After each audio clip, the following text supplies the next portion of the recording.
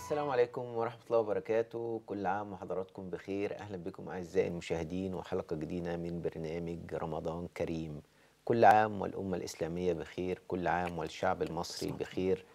آه، في أول يوم من أيام رمضان رمضان آه، شهر الصيام شهر القيام شهر الرحمات شهر العتق من النيران. في هذا الشهر الكريم تحتفل الأمة الإسلامية بركن من أركان الإسلام وهو الصيام. ولكن في هذا التوقيت آه، تحتفل الأمة الإسلامية وهي حزينة. تحتفل وهي مفيش مساجد. تحتفل وهي مفيش قيام مفيش تراويح. ولكن رغم كل هذا ولكن نرى البيوت تضاء. إذا كانت المساجد لا تعمل فالبيوت تعمل. تعمل في أنها تلم الأسرة. وتلم شمل الأسرة في أنها تقوم الليل وتصوم وتقرأ القرآن فتصبح البيوت كالمساجد. تتلألأ الأنوار فيها كما تتلألأ الأنوار في المساجد. نسأل الله عز وجل أن يكمل هذا الشهر الكريم وأن تفتح المساجد وتضاء المساجد ويرجع الناس إلى صلواتهم وقيامهم كي نحس برمضان وإن إحنا نقول إن رمضان هو شهر المساجد وشهر القيام وشهر القرآن ونسأل الله العلي القدير في هذا الشهر الكريم أن يزيل عن هذه يزيل عنا الغمة وعن هذه الأمة الإسلامية وأن يا رب كده ينجينا منها وينجي كل المسلمين وكل آمين. العالم من هذه الغمة أعزائي المشاهدين بيسعدني في هذا اليوم وأول ليلة من ليالي رمضان أن يكون معي فضيلة الشيخ محمد وحيد سليمان إمام وخطيب الجامع العباسي بالإسماعيلية أهلا بيك فضيلتك. أهلا وسهلا بحضرتك كل عام وحضرتك؟ بخير. انت الكامل الصحه تمام العافيه آه، فضيلة الشيخ محمد وحيد يسعدني إن أنت تكون معايا في أول ليلة من ليالي رمضان وبرنامج رمضان شرف كريم كبير حضرتك ليا والله يا آه، رمضان آه، شهر القرآن شهر الصيام شهر النفحات شهر العتق من النيران. نعم.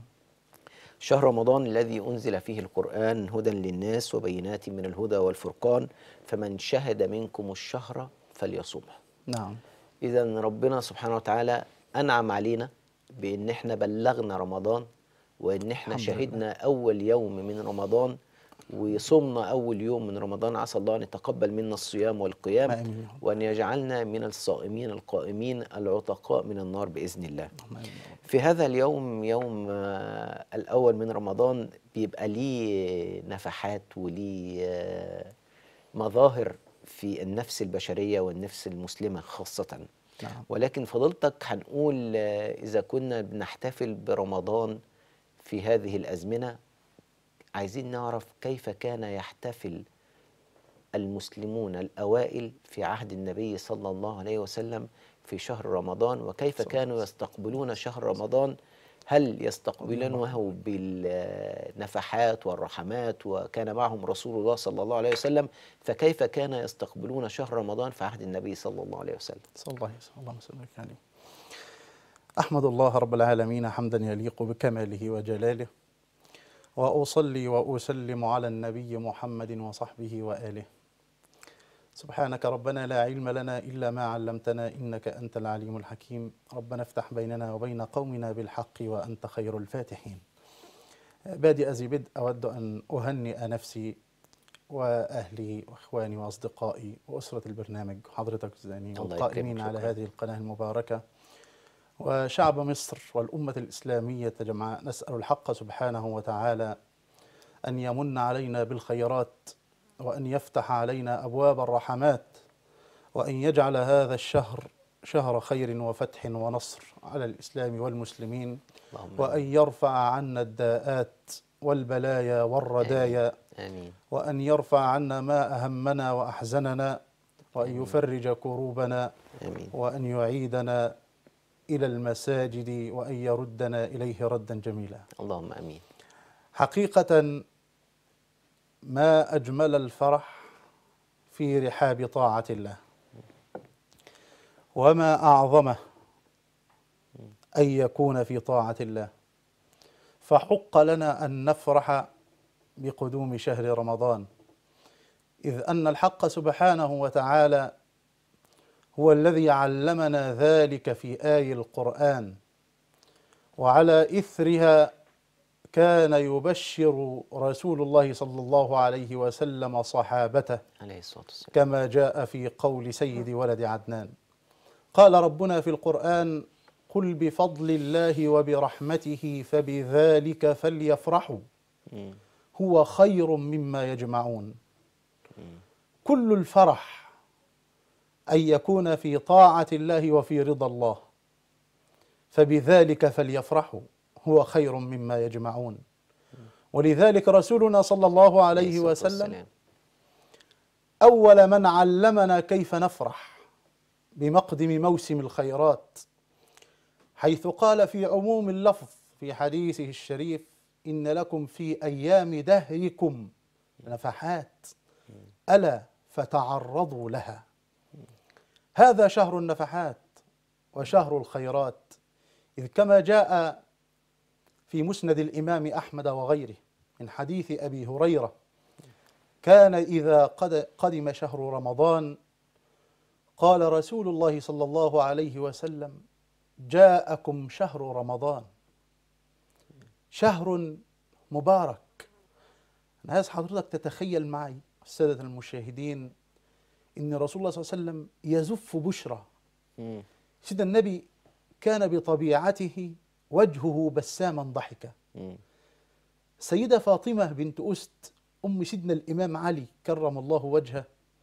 بتقول لما انتقلت حضانة النبي صلى الله عليه وسلم. إلى بيتنا بعد موت جده بقى. انتقلت لعمه فكان الصبية إذا قاموا من نومهم يرى في وجوههم أثر النوم.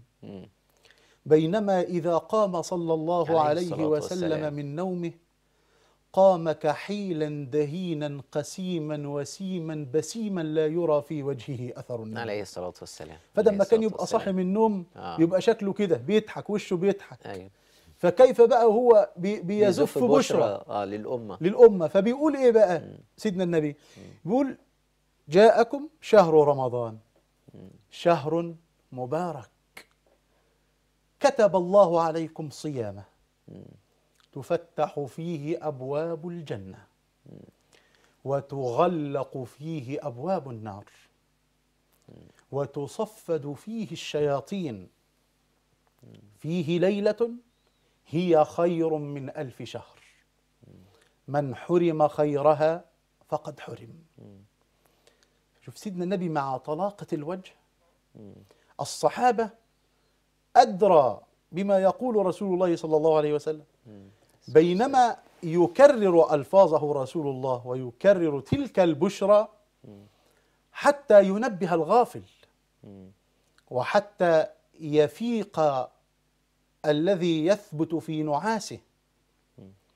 فكان يوقظهم. ولذلك السيدة عائشة تقول عن يقظة رسول الله في هذه الأيام بالأخص كان إذا أتت العشر عشر الأخر شد مئزره وأيقظ أهله وقام ليلة. ده يدل على إيه؟ جدية رسول الله صلى الله عليه وسلم في طلب هذه والسلام. الأيام. عليه الصلاة والسلام. شهر رمضان بنفحاته وبركاته حق لنا أن نفرح به. ويكفينا آي القرآن التي جاءت بصدده. يا أيها الذين آمنوا كتب عليكم الصيام. هذا النداء من العلي الأعلى سبحانه وتعالى.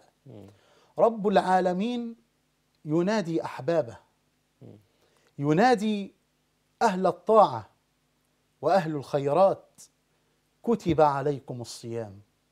كما كتب على الذين من قبلكم لعلكم تتقون. هناك غاية الصيام لم يفرض ربط ربط بالتقوى يا مولانا يعني بعد لعلكم الغاية. تتقون. الغاية هي التقوى. ما كل آه. مم. في الإسلام له غاية. مم. فيش عبادة كده محطوطة آه، هباء. أو يتخبط الإنسان آه، عبثا في الحياة. لا مم. الإنسان دين القوامة ذلك الدين القيم. القيم. تمام. منضبط. تمام. فقال لعلكم تتقون. غاية. تمام. حتى تصلوا إلى مرتبة التقوى. بهذا الخير. وبما في هذا الشهر من خير وفلاح. تمام. هذه بشرى القرآن. ثم بشرى رسول الله صلى الله عليه وسلم. والسلام. جاءكم شهر رمضان شهر مبارك. طيب هناخد أستاذة تهاني وأرجع لحضرتك. اتفضل. حضرتك. أستاذة تهاني اتفضلي. السلام عليكم. وعليكم السلام ورحمة الله السلام وبركاته. وبركاته. ازيك عامل إيه؟ الحمد لله يا فندم اتفضلي يا فندم. آه، معلش عندي مشكلة يعني وعايز الشيخ يعني استفسر من الشيخ. اتفضلي يا فندم. أنا أختي معاها وسواس موت. معاها إيه يا فندم؟ حاسة إن هي هتموت يعني من ثلاث سنين. آه ح- حاسة إنها هتموت من ثلاث سنين ده إحساسها هي. آه آه. ولحد وبيجي لها أعراض كده إن هي مش قادرة تتنفس كرعها بتنمل كده يعني. ومش عارفين نعمل لها إيه. حاضر يا فندم حاضر. وصدرها على طول بيوجعها يعني وقلبها وكده يعني. حاضر يا فندم. شكرا. هيجاوبك الشيخ إن شاء الله. إن شاء هنبقى ناخد الأسئلة حضرتك ونجاوبها إن شاء الله مع إن بعض شاء الله العالمين فضيلتك آه، في شهر رمضان آه، قلنا هو بشرى. نعم. شهر رمضان هو شهر عظيم فيه نفحات من الله سبحانه وتعالى. شهر آه، بتغفر فيه الذنوب. نعم. شهر بتضاعف فيه الأعمال. شهر بيزاد فيه رزق العباد. دي من فضائل شهر رمضان من من خيرات شهر رمضان ومن بركات شهر رمضان. في رمضان الشهر الكريم مقسم كما ورد في الأحاديث أوسطه. أوله وأوسطه نعم. وآخره. إحنا في هذه الأيام في الأيام الأولى من شهر رمضان وهي أوس أو أيام أيام الرحمة. الرحمة. نعم. يا ريت نتكلم عن العشر الأوائل أيام الرحمة ونقول كيف نصوم في تلك الأيام وكيف نفعل في تلك الأيام الأولى. حضرتك أستاذ هاني يعني شهر رمضان يعني هذا الحديث أمر فضيل. وهو أرى كأنه مراحل سباق تمام دي مرحلة أولى ده ليه حافز عشان تقوى إذا بيقولوا كده عايزين واحد نفسه طويل ما تمام. يجيش ويروح جاي إيه مم. في المرحلة الأولى يروح مخسع أيوة. لا زي ما بنشوف كده كنا نشوف نلاقي المساجد مليانة في أول أيام أول ما العشر. الأوائل. آه آه، ما- آه. بعد كده يبدأ الأمر مم. في قلة وبل تمام. يصل في بعض القرى والمساجد الصغيرة إلى انعدام تلاقي مم. ولا لا فده زي مراحل السباق بالظبط مم. سيدنا النبي حطها كده ليه؟ عشان تنظر لقدام مم. إحنا لسه في الرحمة آه أتسابق عشان أوصل المغفرة مم. أنول هذه الجائزة ثم بعد ذلك العتق من النار مم. ولذلك سيدنا رسول الله صلى الله عليه وسلم يعلمنا كيف يكون هذا الناس فاهمة إن رمضان آه، صيام امتناع عن شراب وطعام بس وخلاص لا. ولذلك أنت حضرتك بت- بتقول لي التقسيم ده ثلاثي. رحمة ومغفرة وعتق. والعلماء قص في تقسيم الصوم قسموه إلى ثلاثة مراتب. قال لك الأولى مر وهي العموم صوم العموم. طب هناخد ترتيب العلماء ناخد تليفون ونرجع نرجع تفضل بعض. حضرتك. ماشي. اتفضلي يا فندم. معايا؟ ألو؟ عليكم السلام ورحمة الله وبركاته. اسم حضرتك؟ محاسب أهلا وسهلا ام حازم اتفضلي يا فندم. لو سمحت عايزة أسأل الشيخ عن سؤال. اتفضلي يا فندم معاكي.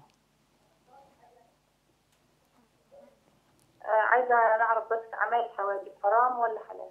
وعايزة إجابة مفصلة. حاضر. حاضر. طيب حاضر. هيجاوبك الشيخ حاضر. حاجة سهير اتفضلي. حاجة سهير. حاجة سهير. وعليكم السلام ورحمة الله وبركاته. لو سمحت أنا كنت عايزة أقول لكم كل سنة وأنتم طيبين وأسأل فضيلة الشيخ سؤالين لو تكرمت عليا. اتفضلي يا فندم. الآية الكريمة اللي بتقول لقد عرضنا الأمانة على السماوات والأرض. فأبني أن يحملنها. أنا عايزة ليها. تفسير. وإزاي الإنسان كان ظلوما جهولا لأنه رفض لأنه قبل إنه ي- يحمل الأمانة دي. حاضر. تاني سؤال يا ولدي. اتفضلي يا فندم. أ- أنا توفى ولدي عني وكان عليا دين كبير. واضطريت أبيع بيتنا ونقعد في إيجار. ودلوقتي أنا كنت بشتغل لهم بس أنا دلوقتي عندي سرطان. وعليا مبلغ كبير جدا جدا جدا من الإيجار. فأنا لو اضطردت بالولاد دي في الشارع يكون ذنبهم في رقبتي عشان الإيجار يا ولدي؟ حاضر حاضر. هيجاوبك فضيلة الشيخ. أستاذة دنيا اتفضلي. طيب ماشي. أستاذة دنيا اتفضلي يا فندم. ألو ازي حضرتك؟ أهلا وسهلا يا فندم. ممكن التلفزيون. اتكلم الشيخ؟ طب وطي بس التلفزيون شوية. سؤال حضرتك اتفضلي يا فندم. آه أنا دلوقتي ابني عنده ابني عنده سنة و- وأنا عايزه افطمه بابا بابا طالب عيال تاني. ده حرام ولا طب طب قولي السؤال تاني يا فندم حضرتك بس. ابني. آه عايزة تفطمي الولد وهو عنده سنة. آه عشان أنا عايزة أجيب عيال تاني بابا عايز كده. تمام. حاضر. ماشي يا فندم هنجاوبك. حاضر. طيب. فضيلتك هناخد بعض الأسئلة نجاوب عليها اتفضل. ونرجع تاني لفضائل شهر رمضان. طب إحنا معانا ال- الحاجة اللي كانت بتقول آه، عايزة تعرف تعريف الآية أو تفسير الآية. أم ح- أم حازم لقد عرضنا الأمانة. إن عرضنا آه. الأمانة إن على عرضنا الأمانة على السماوات والأرض. فأبين أن يحملنها وأشفقنا منها. وأشفقنا منها وحملها. الإنسان. كان الإنسان ظلما جهولا اتفضل. آه، الأمانة كما ذكر الإمام القرطبي في تفسيرها هنا المقصود بها هي أمانة الدين. وكل ما يرتبط بالدين. ترى سيدنا ابن عباس يقول الغسل أمانة. حضرتك الاغتسال نفسه ده أمانة. من الجنابة. هو في حد بيبقى بيشايف حد وهو بيغتسل؟ لا. مفيش غير ربنا مطلع عليك. أنت أمين على نفسك وأمين على طهارتك أمام الله عز وجل. مم. الصوم أمانة. فحد شايف أنا فطرت كده وأنا مستخبي ولا أنا ما يحاك في صدري أو ما غير ذلك؟ محدش عارف. تمام. فكل العبادات أمانة. مش المقصود بال- بالأمانة هنا الأمانة اللي هي فلوس إن أنا أديها لفلان يعينها معاه أو كلام من ده. لا لا. الأمانة هنا كل أمر يرتبط بالدين. مم. فهنا أمانة الدين ألقيت على عاتق بني آدم. بني آدم. تمام. فتحملوها. ولا يعرفون أنها ثقيلة. وتحتاج إلى جد وإلى حرص شديد. تمام. ولذلك سيدنا رسول الله صلى الله عليه وسلم يقول. آه، يوصي بعض الصحابة إن الدين شديد. فأوغل فيه برفق. تمام. ولن يشاد الدين أحد إلا إلا غلبه. إلا غلب طيب. فسددوا وقربوا. طيب. ولذلك ربنا يقول فاتقوا الله ما استطعتم. طيب. هناخد أستاذ سيد من الشرقيه حضرتك. أستاذ سيد اتفضل طيب الاتصال اتقطع. طيب. طيب مولانا كان في سؤال جاي لنا أم حازم بتقول ال- الحواجب. بتسأل عن الحواجب هي بتقول الحواجب في رمضان أو في غير رمضان الحواجب إيه شرعا يعني هو, شيلها هو الحكم في رمضان وغيره مم. قال حبيبنا صلى الله عليه وسلم لعن الله النامصة والمتنمصة مم.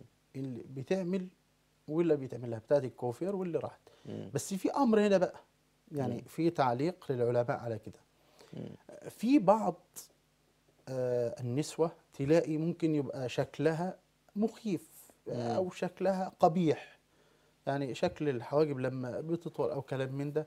يبقى شكلها قبيح. آه، وحتى تزين وجهها لزوجها عشان بقى يعني تدخل بقى تبقى صورة حسناء.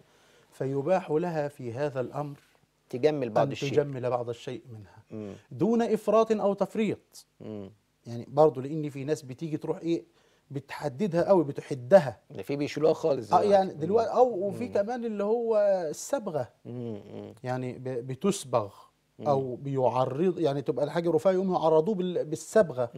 آه، زيادة. مم. فهذا الأمر من التغيير مم. في خلق الله. طيب. يعني اعده العلماء من التغيير في خلق الله. طيب هناخد أم ساندي من كفر الشيخ. أم ساندي اتفضلي.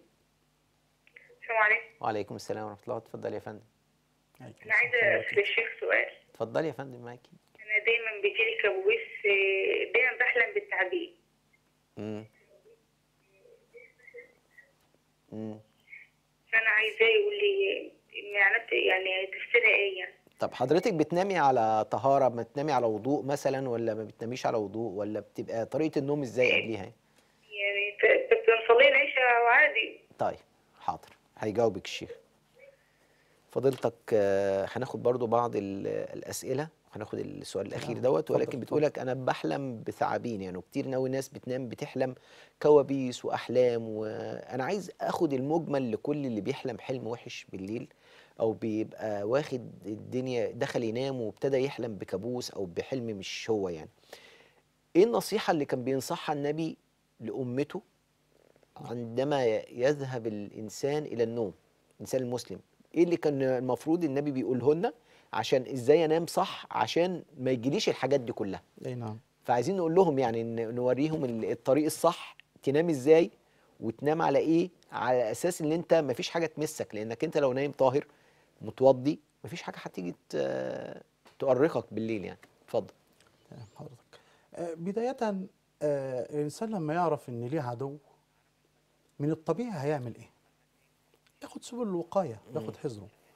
فربنا بيقول إن الشيطان لكم عدو فاتخذوه عدوا مم. إنما يدعو حزبه ليكونوا من أصحاب السعير. العداء هنا عداء الدين ويظل الشيطان يتبع الإنسان ويتبع هواه حتى يدخله في حزبه مم. يدخل بقى في دائرة إيه؟ استحوذ عليهم الشيطان فأنساهم ذكر الله مم. كل بقى تقول الجن ووسوسة الشياطين وما إلى غير ذلك كل ده عدو خارجي. لازم في سبل وقاية بقى. إحنا عايزين نقول بقى سبل الوقايه سبل يعمل الوقاية إيه؟ آه بقى بسيبش نفس الشيطان. آه. علمنا صلى الله عليه وسلم أذكار الصباح والمساء. تمام. أن نتعوذ بالله وأن نتحصن بالله من الشيطان وشياطين الإنس والجن وغيرها. وكمان حضرتك بالأخص بقى يعني عند النوم بالذات. آه عند الرقاد علمنا صلى الله عليه وسلم أن ننام على طهارة أن يتوضأ مم. إذا أتى أحدكم مضجعه فليتوضأ آه. وضوءه للصلاة إن استطاع أن يركع ركعتان من غير الفريضة فليفعل. إن لم يستطع فليبت على طهارة مم. ولينم على شقه الأيمن. وليدعو بدعاء رسول الله صلى الله عليه وسلم باسمك اللهم أضع جنبي وبك أرفعه اللهم إني أسلمت نفسي لك وفوضت يعني إحنا بنقول. لها تنام على طهارة وتنام على وضوء وفي و- حرز آه. بقى آه. سورة البقرة آه لا تستطيعها البطرة مم. وآية الكرسي مم. أعظم آية في كتاب الله عندما سأل رسول الله صلى الله عليه وسلم سيدنا أبي فقال له يا أبا المنذر أي آية في كتاب الله أعظم مم. فسيدنا أبي قعد كده يعني هو سيدنا النبي مش عارف مم. بيسألني يعني مش عارف لا ده, ده, سيدنا النبي عايز يديله تقرير مم. فقال آية الكرسي مم. فضرب النبي على صدره مم. يعني زي ما إحنا كده إيه انت. ما شاء الله عليك صح. آه. آه. وقال له ليهنك العلم أبا المنذر مم. يعني هنيئا لك العلم مم. أعظم آية في كتاب الله. معاه آية الكرسي. يقرأها في صباحه وفي مسائه وفي رقاده وعند دخوله وخروجه ولا غير ذلك وكذلك احترازات أخرى عند دخول الخلاء تمام. اللهم إني أعوذ بك من الخبث والخبائث وغير ذلك. وعلمنا حبيبنا صلى الله عليه وسلم دعاء قال آه، إذا أتى أحدكم مضجعه فليجمع يده وليقرأ بالمعوذات. قل أعوذ برب الفلق وقل أعوذ برب الناس قراءة ثلاث وقل هو الله أحد. ثم يمسح على جميع جسده. بعد ما يقرأها كده يقوم يمسح بقى جسمه كله تمام. قبل نوم طيب هناخد محمد من الاسماعيليه اتفضل. أستاذ. محمد اتفضل. وعليكم السلام ورحمة الله وبركاته. اتفضل يا فندم. أنا بقول للشيخ محمد بس كل سنه وأنت طيب ومنور في الصحه والجمال طب كامل يكرمك. وتمام العافية يا أستاذ محمد. جزاك الله- ربنا يكرمك يا رب. طب في سؤال لحضرتك؟ طيب شكرا لحضرتك. ربنا يجزيك خير. أنت ليك جمهورك من الإسماعيلية طبعاً، ابتدوا. جمهور. الاسماعيليه طيب.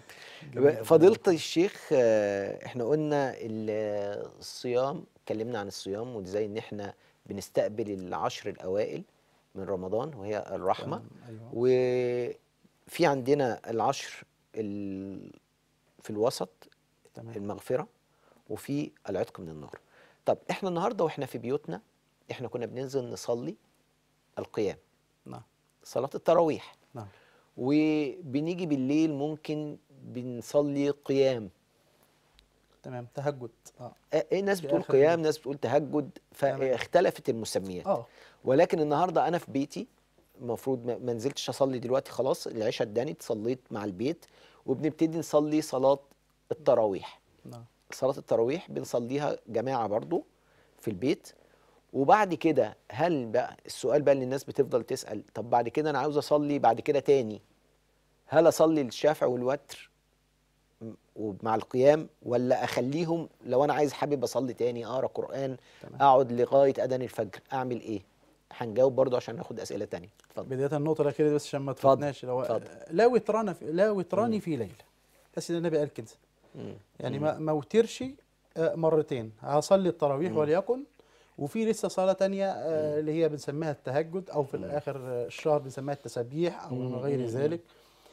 هنيجي بقى يبقى طالما هصلي تاني قبل الفجر يبقى ما وترش في أول الليل ما اوترش آه ولو أوترت في أول الليل باجي بقى الوتر ده بكسره بركعة بركعة فردية مم. عشان يبقى كده عدد زوجي وأتم الصلاة زي ما أنا عاوز مم. ثم إن النافلة مش محددة مم. يعني إحنا عندنا النافلة مش محددة مش شرط التهجد قيام الليل يبقوا 8 مم. وممكن أصلي 12 مم. اصلي 24 اصلي حسب على حسب قدرتك. الوقت. آه آه. آه. ومش شرط بالليل يعني مم. صلاة النافلة مش شرط ده اسمه يعني عشان اختلاف المسميات اسمها كلها صلاة الليل. صلاة الليل.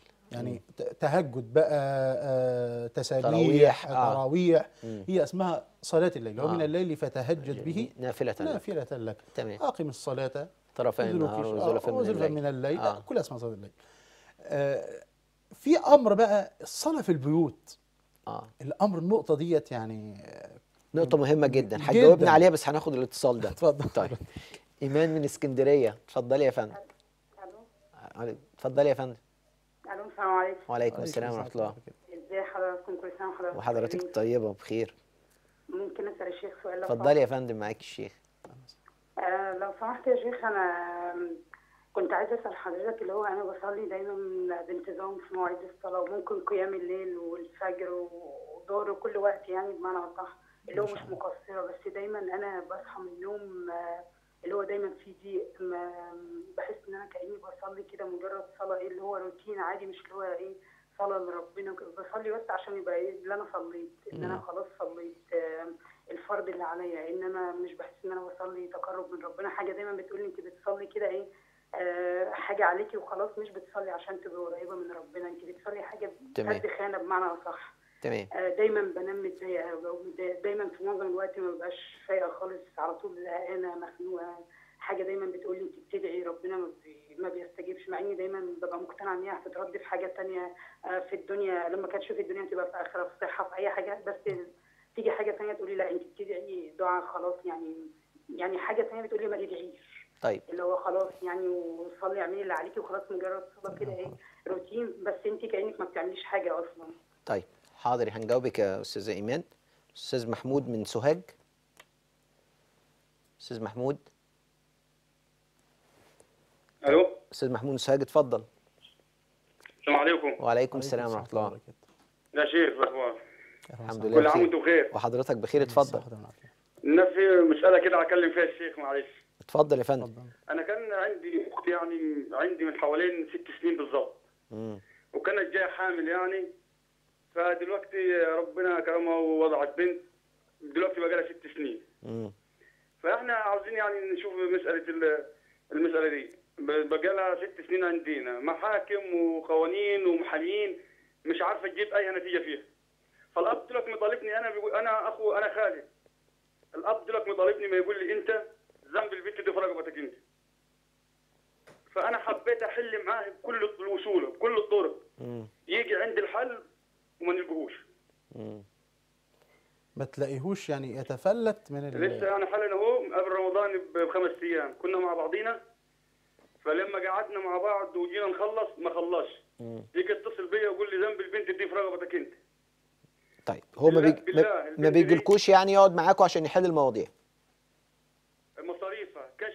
تمام. كل الأمور اللي هي بي أنا قمت بيه. طيب حاضر.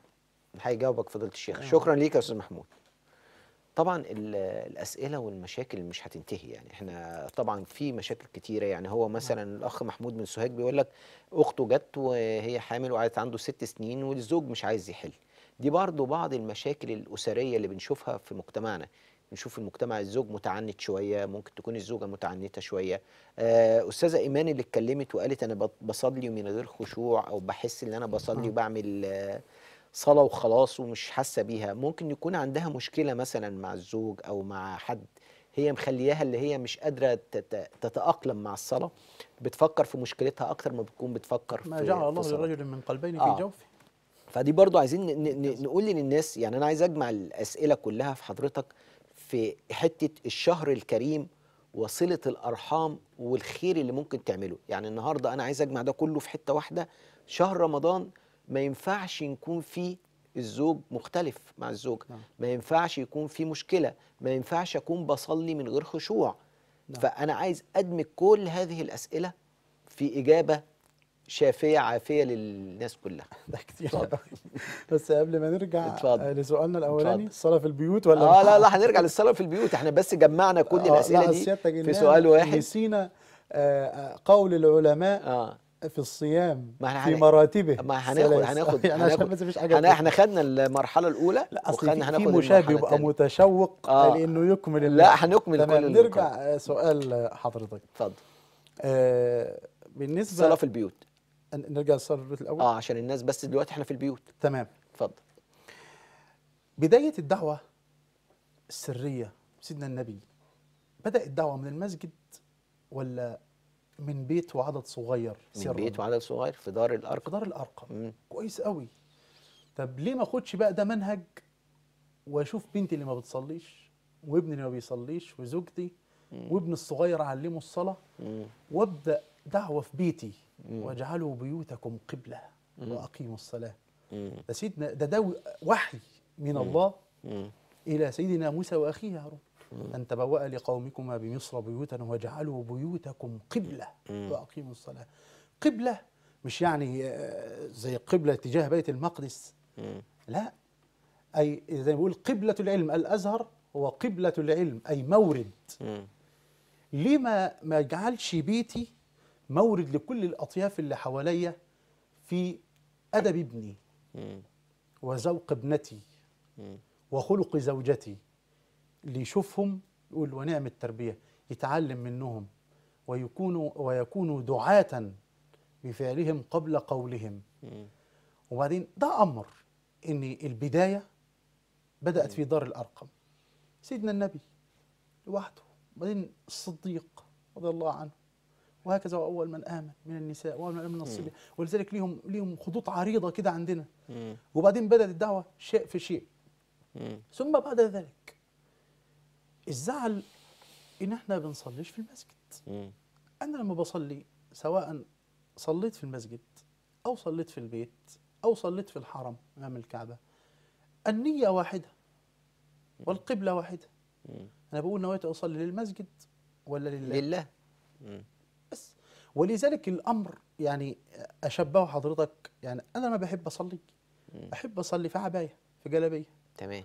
حضرتك تحب تصلي تحب تصلي في البدلة. آخر يحب يصلي في الترينج مم.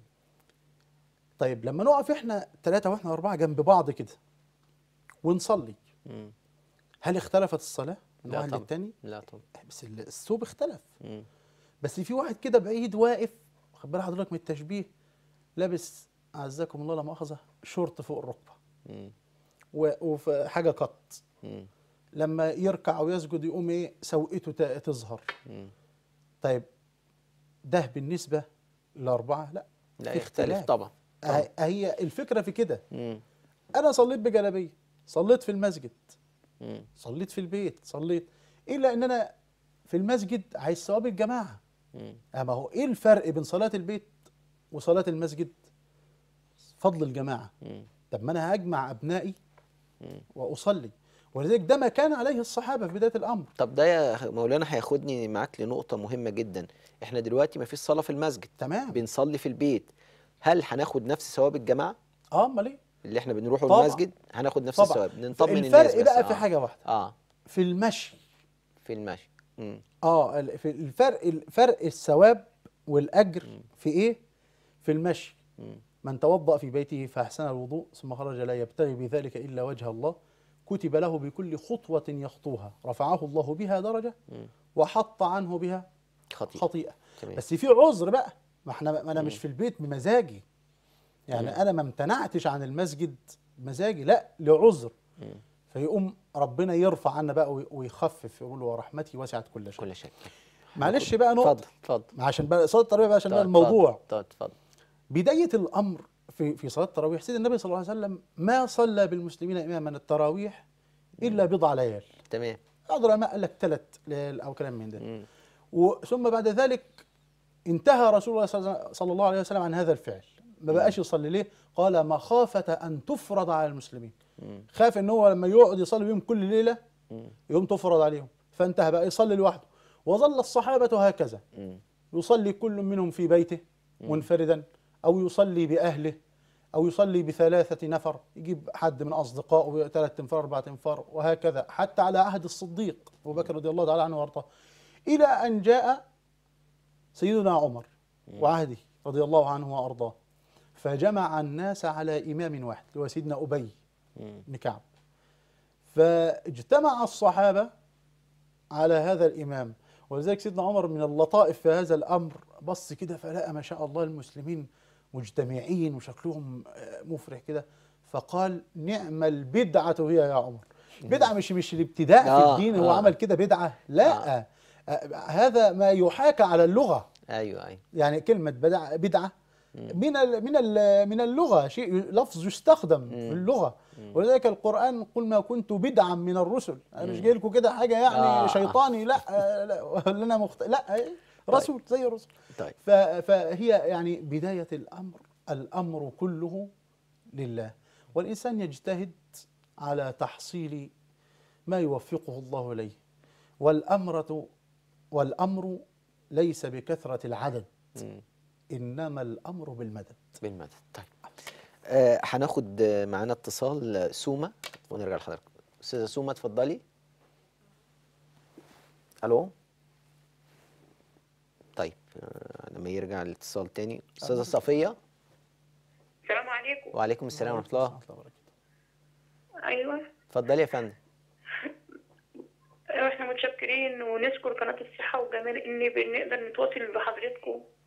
اتفضلي يا فندم شكرا وعايزه أشكر فضيلة الشيخ على يعني وأشكركم كلكم. وكنت. محتاجة إن أنا أنا من ساعة النطرة والسيول والنطرة نزلت عليا والدنيا غرقانة كانت عندي والس- والسقف عندي بايظ. حاضر. سيبي لي بس رقم تليفون حضرتك والعنوان وإن شاء الله خير بإذن الله. شكرا لحضرتك. شكرا. فضيلة الشيخ آه، المشاكل الأسرية آه إحنا عايزين في في ختامنا في ختام الحلقة بتاعتنا إحنا ابتدينا ننوه عن بعض الح- بعض الحاجات في رمضان إزاي إن أنا أستقبل هذا الشهر الكريم كما كان يستقبله الرسول صلى الله عليه وسلم والصحابة. في بعض الحاجات الأسئلة اللي بتبقى داركة جدا في رمضان وبتتسأل عليها كتير جدا وهي منها ال- العذر للمرأة. إذا صادف المرأة العذر إذا كانت صايمة وجالها العذر قبل الفطار بساعة أو اتنين أو تلاتة تفطر ولا تكمل صيامها؟ لا تفطر. تفطر. ولو قبل المغرب بثوان. طيب. هل تأخذ نفس لكن في أمر آه. يعني تفصيلي بس في اتفضل، في الحكم. إذا رأت الدم. إذا رأت الدم. تفطر ولو بقى لو ثانية باقيه على الإفطار. طب بتاخد نفس الثواب يا مولانا؟ العلم والأجر عند الله مش أنا بقى اللي أقول. آه آه. بس في حاجة الصحابة لما صلوا جهة ال- المشرق البيت المقدس وبعدين تحولت ال- القبلة إلى البيت الحرام.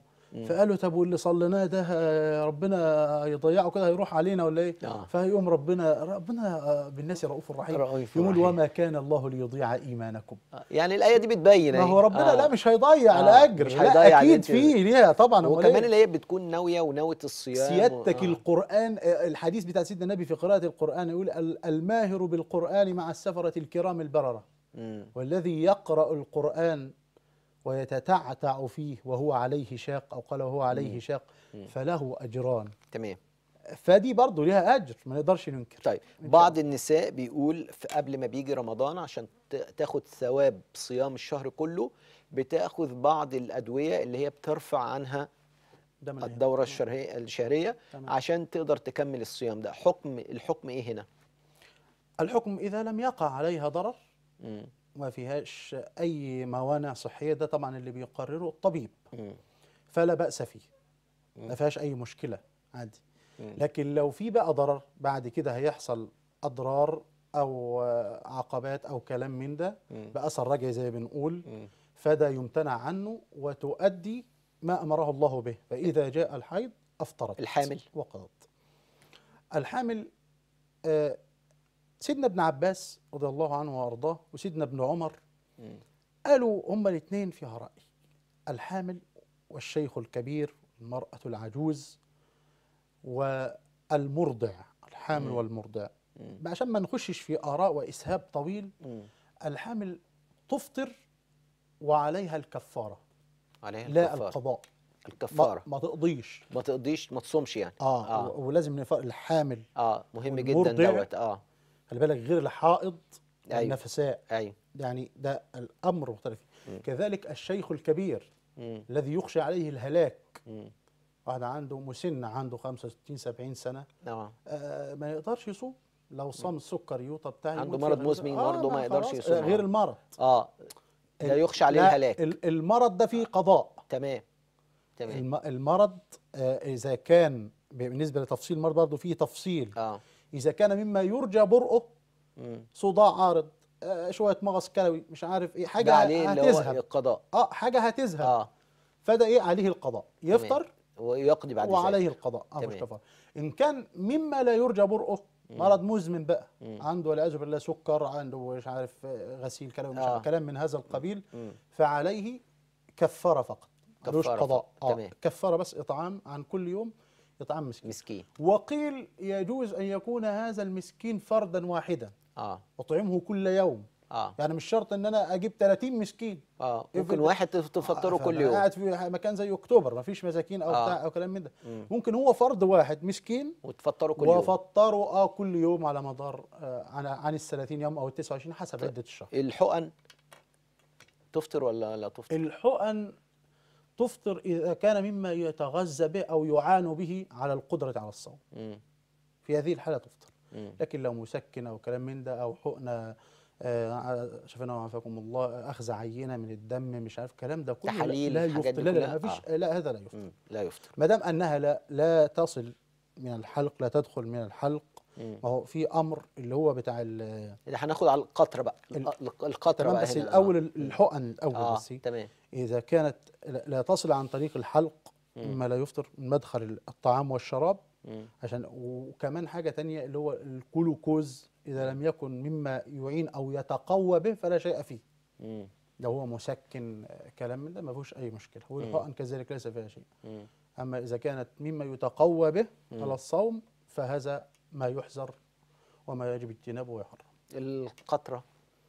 قطرة العين لا تفطر ده بال- بالإجماع مم. لكن قطرة الأنف فيها تفصيل مم. العلماء قالوا إن وصل شيء من القطر إلى الحلق. الحلق مم. فهذا يتجنب ما ما, ما نهوش مم.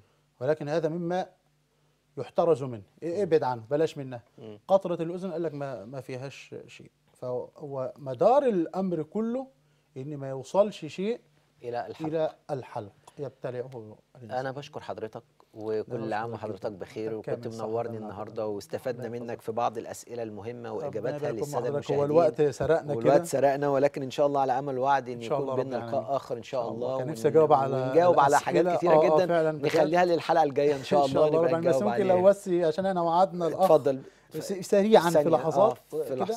الأخ اللي قال بنت بنت آه، نفقتها تلزم أبيها مش هو هو يعني. لا آه. ال- النفقة تلزم تلزم أبيها. أبوها أبوها اللي يصرف عليها. مم.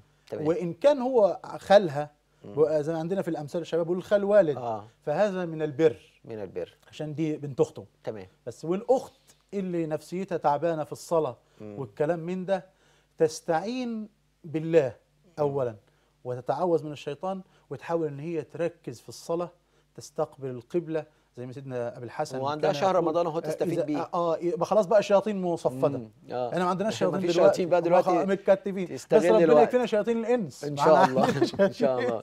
وربنا يزيح الله عن هذه الأمة يا رب ويتقبل صيامنا. وقيامنا ويجعلنا من رتقاء شهر رمضان. رب العالمين. شرفت بحضرتك فضيلة الشيخ محمد وحيد سليمان إمام وخطيب الجامع العباسي بالإسماعيلية. ربنا يحفظك شكرا. لحضرتك. ربنا يحفظك. أعزائي. المشاهدين آه، كل عام وحضراتكم بخير وعلى أمل وعد أن يتجدد اللقاء في حلقات أخرى. نتمنى من الله عز وجل أن يزيح الغمه ببركة هذا الشهر الكريم وأن يتقبل منا الصيام والقيام وأن يجعلنا من عتقاء شهر رمضان الكريم. كان معكم هاني الفرماوي على أمل ووعد أن يتجدد اللقاء في حلقات أخرى. والسلام عليكم ورحمة الله وبركاته.